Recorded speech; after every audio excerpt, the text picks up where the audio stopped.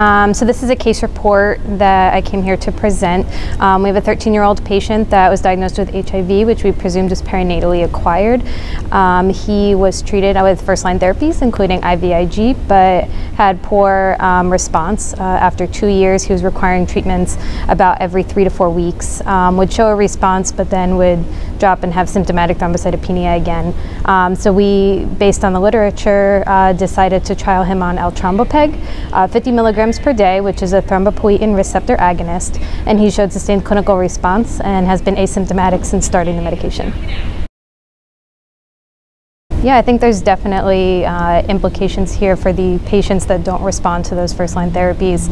Uh, the challenge is that there's not much literature out there. Currently, the only study looking at um, thrombocytopenia uh, refractory to first line therapy in pediatrics is the Petit studies, and they've approved this medication for chronic ITP, but there's no studies looking at other causes of thrombocytopenia and how they might respond to eltrombopag as well.